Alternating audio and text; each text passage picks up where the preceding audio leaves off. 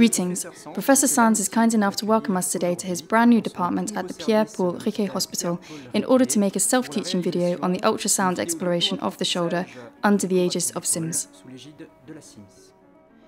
The outline is as follows We will study the anterior region of the shoulder. Next, we will go on to the anterior superior region. Our third chapter will concentrate on the posterior region.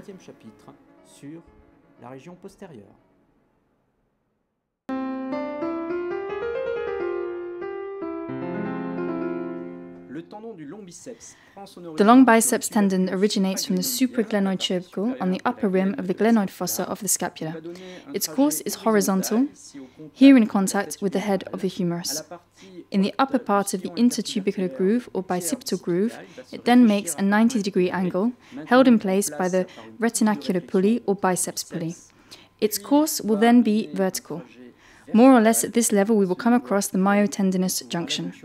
This tendon will be held in place in the groove by fibers from the subscapularis. It will also be crossed over, just about here, by the pectoralis major tendon.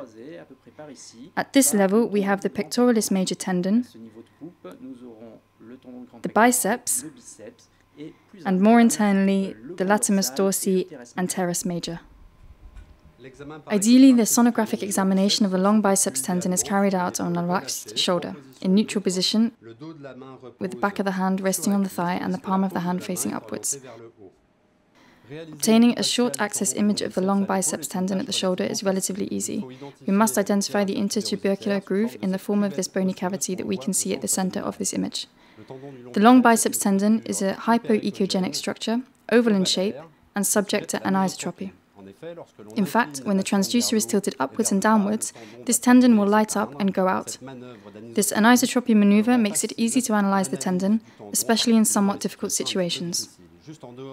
Just outside the tendon, we can identify a small arteriole, actually quite large in this subject, which is relatively constant. The exploration of the long biceps tendon continues upwards. We can see that the tendon remains at the bottom of its groove as long as the groove continues. We also see that inside, in the upper part, there is a small triangular hyperechogenic structure containing the tendon which corresponds to the distal extension of the biceps pulley. The biceps tendon will then turn to enter the joint. We will therefore swivel round in order to follow its curve with the transducer in the sagittal plane. Please note that the biceps tendinopathy usually begins in this area. We will then explore the long biceps tendon downwards. The groove is tapered off, but the tendon can easily be identified thanks to the anisotropy. As we move further downwards, we will see it go under the pectoralis major tendon, which is orientated transversely before it attaches to the humerus. The myotendinous junction of the biceps is located here. We will now go on to the longitudinal view of the long biceps tendon in its groove, which we can see here. Since the biceps tendon plunges distally, it is oblique, so you have to press on the lower part of the transducer in order to get a good hyperechogenic image. The tendon can then be followed downwards up to its myotendinous junction, which you can see here. The muscle fibers appear starting at the point where it goes under the pectoralis major.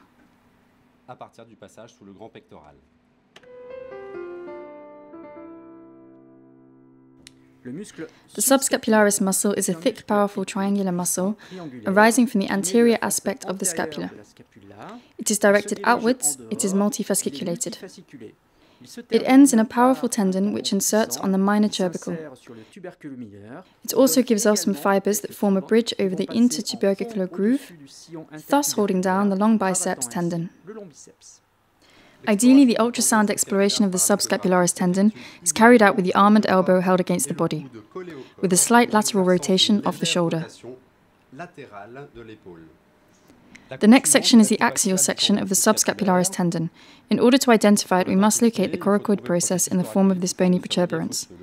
The tendon underlies it, it is orientated transversely outwards and inserts on the minor tubercle of the humerus. If you travel even further outwards, you will come across the bicipital groove. The subscapularis tendon is explored from top to bottom in the axial plane.